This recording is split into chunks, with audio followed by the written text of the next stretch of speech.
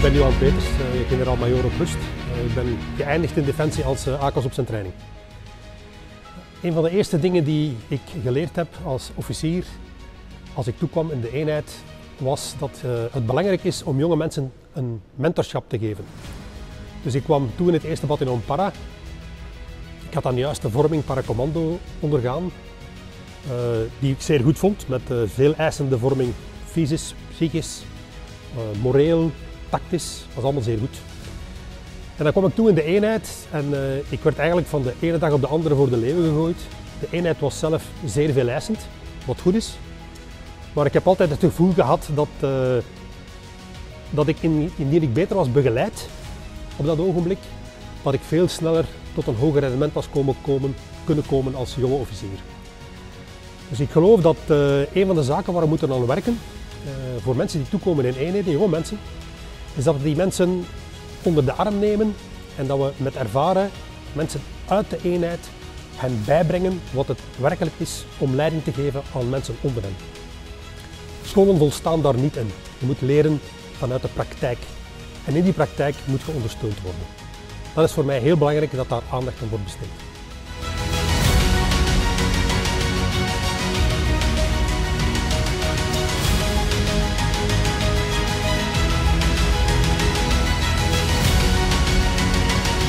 Een belangrijke les die ik ook heb geleerd is over leiderschap.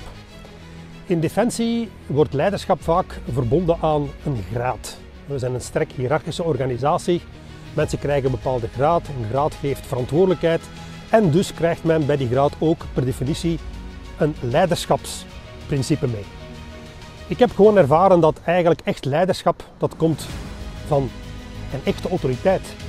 Dat komt van mensen die competent zijn. En competentie vind je in allerlei niveaus. Er zijn mensen die onderofficieren die zeer competent zijn, vrijwilligers zijn competent. Dus het is voornamelijk competentie en vertrouwen dat uit die competentie uitstraalt, dat echt leiderschap geeft. Voornamelijk in heel kritische omstandigheden is het niet de graad die ertoe leidt dat mensen u volgen. Ze hebben vertrouwen in uw competentie en dat brengt het er hen ertoe om u te volgen, niet de graad. Er is ook zo een, een, een statement over Peters Principle. Sommigen hebben dat waarschijnlijk al gehoord. Mensen die bevorderd worden tot de graad waarin ze juist niet meer competent zijn. Af en toe lijden we daar wel onder in deze organisatie. Wat zien we? Mensen worden bevorderd, maar eigenlijk eens ze een bepaalde graad hebben en niet competent blijken te zijn, kunnen we ze niet meer een graad naar beneden halen. Dus blijven we verder werken met hen. Ook wel af en toe een probleem.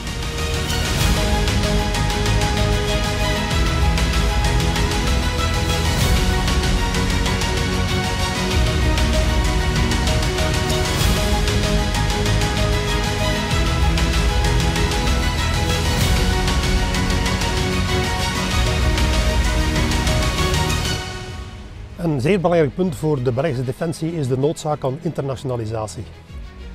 Alle problemen die we aanpakken, pakken we aan met andere partners. En we moeten dus in staat zijn om met iedereen samen te werken. Ik heb het persoonlijk ervaren als uh, jonge, nee, oudere kapitein. Ik werd weggestuurd vanuit België naar de Verenigde Staten en ik kwam terecht in een Amerikaanse brigade. Ik had juist mijn tweede cyclus beëindigd en ik was ervan overtuigd dat ik tactiek helemaal begrepen had.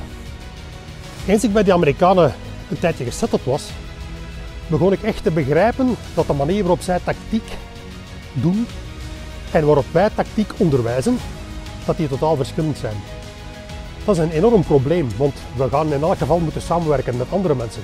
Met verschillende tactische procedés zal dat zeer moeilijk zijn. Een ander probleem daarbij is natuurlijk de kennis van de taal. Het is heel belangrijk dat onze mensen capabel zijn om zich te uiten in de internationale taal van de NAVO, dus voornamelijk het Engels. Hierop moet heel veel aandacht worden geschonken, want zoals ik zei, als we een probleem aanpakken, zal het altijd zijn met iemand anders.